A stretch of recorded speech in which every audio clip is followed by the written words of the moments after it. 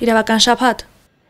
Հակ համակարգերի վտանգավոր արատները, բանտերն ու դրանցում տիրող իրավիճակը, փողոցային բարքեր, թղթախաղություն եւ անառողջ մթնոլորտ։ Խափանման միջոց կալանքի միջնորդությունների 95%-ը բավարարվում է, մասնագետներն ահազանգում են, որ դրանք հաճախ անհիմն են լինում։ Քրեակատորական հիմնարկներում մարդիկ չեն ուղվում, վստահ են փաստաբանները։ Ինչ բարքեր են տիրում բանտերում եւ ինչ սանիտարահիգիենիկ պայմաններում են մարդիկ կրում իրենց պատիժները։ Մանրամասները Գևորգ Թոսունյանի ռեպորտաժում։ Դուք որ փորձված մարդիկ եք, երևի գիտեք, որ մեր բանտերում մարդիկ այդքան չեն ուղղում ընդհակառակը, հանցագործ են դառնում։ Վարդան Պետրոսյանի խոսքերը գալիս են վերհանելու այն իրավիճակը, որ արկա է մեր բանտերում՝ թղթախաղեր, անառողջ մթնոլորտ, սանիտարահիգիենիկ վատ պայմաններ։ Փաստաբանները մտնելով բանտեր, այլ բան չեն կարող պատմել։ Դրանք վաղուց գոյություն ունեցող բարքեր են կոնկրետ կալանավայրերում Վարքերը, վարքերն էլ ինչու՞ին, որը որ եղել են, դա էլ շարունակում է գործել, այսինքն նույն հարաբերությունները, որոնք ադմինիստրացիայի եւ կալանավորների միջև եղել են, ու որը եւս ցավոք սրտի հին սովետական դրվածքի շարունակությունն է, դա շատ խորը արմատներ ունի։ Բանտային արմատացած արատներից մեկը խաղամոլությունն է։ Տարածված են գրազով խաղերը։ Գողական աշխարհը ոնց որ ասած այդտեղից է չէ ձևավորվել եւ օրենքով կողերնել սկիզբ են առել հենց այդ հարաբերություններից։ Ով գալիս է,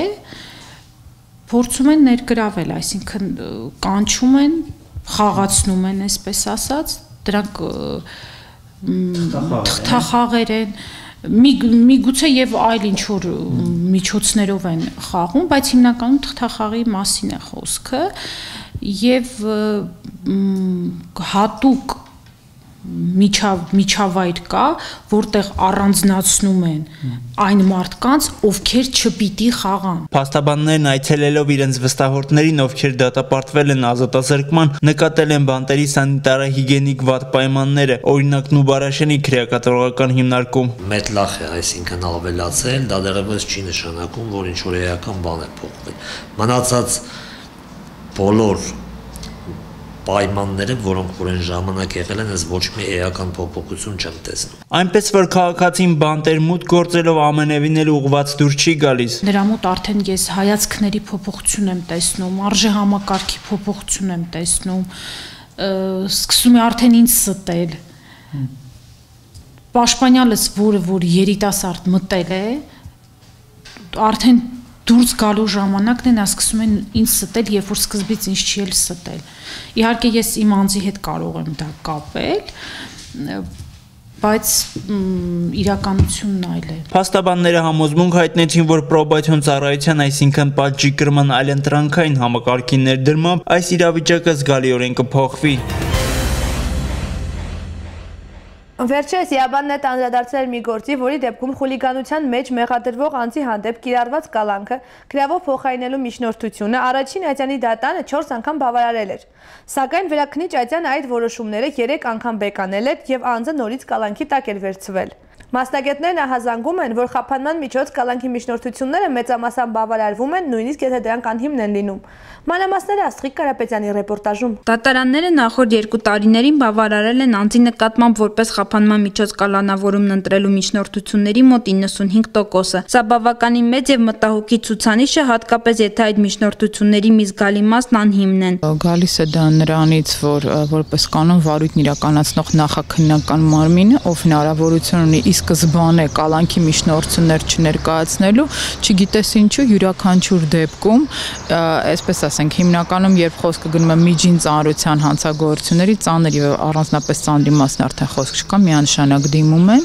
իրենք միանգամից որոշում են, որ պետք է միջնորդություն ներկայացնեն դատարանին եւ պատճառաբանում են դե դատարանը թող որոշի, բայց քանի որ մեր դատական համակարգը հիմնականում մենք գիտենք, որ անկախ չէ, բացառությամբ որոշ դատավորների, հիմնականում այդ միջնորդությունները բավարարվում են։ Մարդու իրավունքների պաշտպանի տեղակալ Արմեն Գրիգորյանը նույնպես փաստում է, որ ներկայումս ավելի հաճախ կիրառվում են երկու տիպի խափանման միջոցներ՝ կալանավորումը եւ ստորագրություն միջնորդությունը չհեռանալու մասին, թեև քրեական դատավարության օրենսգիրքը խափանման այլ միջոցներ նույնպես նախատեսում է։ Պատճառը թերևս մյուս խափանման միջոցների ցածր արդյունավետությունն է։ Կա նաև մեկ այլ պատճառ։ Ներկայիս կարգավորմամբ, օրենսդրական կարգավորմամբ խափանման միջոցների ընտրության համար բոլոր հիմքերը ընդհանուր են։ Այսինքն առանձին հիմքեր չկան կալանավորման համար, չեռանալու մասին ստորագրության որպես խափանման միջոցի համար ու նաև օրինակ անձնական երաշխավորության համար։ Եթե բոլոր հիմքերը բոլորը նույնն են խափանման միջոցների համար, ստացվում է օրինակ թե կալանավորում կիրառելու համար, կալանավորման միջնորդության համար, թե չեռանալու մասին ստորագրության համար պետք է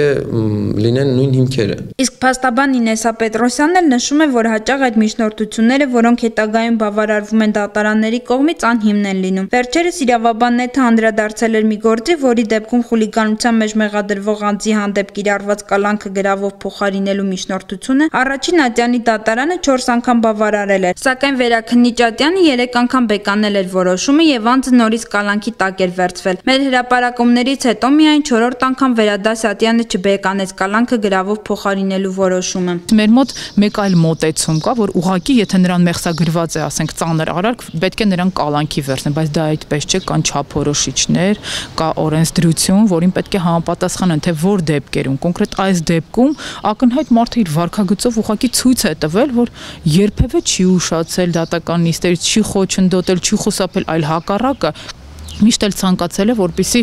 արագ ընթանան դատական նիստերը եւ գործը ըստ էության ստանա իր լուծումը։ Մարդու իրավունքների պաշտպանի տեղակալը նույնպես նշում է, որ հիմնական դժգոհությունը կապված է հենց միջնորդությունները բավարարելու վերաբերյալ անհիմն որոշումներին։ Դատարանների կողմից կանոնավորումը որպես խափանման միջոց ընտրելու միջնորդությունները բավարարելուց բավարարելիս թվարկվում են ուղակի օրենքում նշված հիմքերը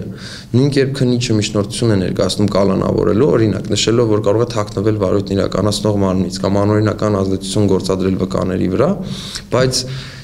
դա հիմնավորող հանգամանքներ կամ ինչ որ փաստական տվյալներ ապացույցներ չի ներկայացվում Այսինքն հիմքը ուղակի նշվում է, որ կարող է ինչ բան անել, վտանգ ներկայացնող գործողությունը անել, որը կխոչընդոտի քննության ընթացքին, բայց դա հիմնավորող փաստաթղթեր չեն նշվում։ Օրինակ, դա ինչպես կարող է լինել, հա, որ մի օրինակ բերեմ։ Ենթադրենք ավականների վրա կամ դուժողի վրա անօրինական ազդեցություն գործադրելը։ Այս դեպքում պետք է լինի ենթադրենք մի ինչ որ գախնալսում հեռախոսային, որը կապացուցի կամ կվկայի այն մասին, որ ենթադրենք մեղադրյալը զանգահարել է կամ բազմիցս փորձել է զանգահարել, զանգահարել ու սպառնացել է վկաներին։ Սա արդեն իրական հիմք է։ Մասնագետների խոսքով խնդրին որոշակիորեն լուծում է տրվում քրեական դատավարության նոր օրենսգրքի նախագծում, որտեղ ընդլայնված է խափանման միջոցների ցանկը, ինչպես եւ նոր կարգավորումներ կան դրանք ընտրելու վերաբերյալ։